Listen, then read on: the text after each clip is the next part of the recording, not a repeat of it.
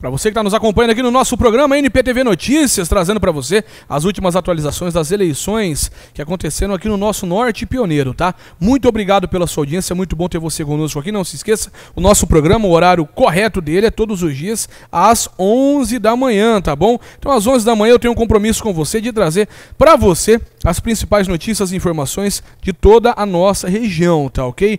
Muito obrigado. Ó, para você que nos acompanha, mandar um abraço para Cleusa Daniel acompanhando nosso programa, para Leila Matar também, Claudinei Firmina, Dani Carvalho tá com a gente também aqui. A minha mãezinha também, Dona Janete, um beijo pra senhora, mãe. Obrigado pela audiência aí, viu? Tá acompanhando aqui o nosso programa também, a Ana Paula dos Reis. Vou pedir para vocês compartilharem o nosso programa, gente. Quanto mais pessoas assistindo o nosso programa, melhor é para deixar todo mundo bem informado. Joga aí nos grupos que você participa, joga aí nos grupos Feira do Rolo, nos grupos de WhatsApp e tudo mais aí, para você que tá nos acompanhando. Me segue lá no Instagram, pesquisa lá Tanilo aí, T-H-A-N-N-I-L-L-O.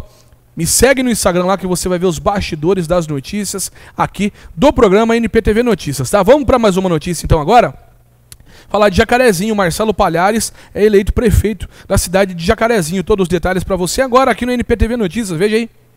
O Tribunal Superior Eleitoral, TSE, confirmou por volta das 23 horas deste domingo 15 a vitória de Marcelo Palhares, que foi eleito o novo prefeito de Jacarezinho. Palhares fez 10.361 votos e ficou com 50,15% dos votos. Tina Tonetti, que estava anulado, sob júdice segundo o site do TSE, fez 7.891 votos e ficou com 38,19% em segundo lugar.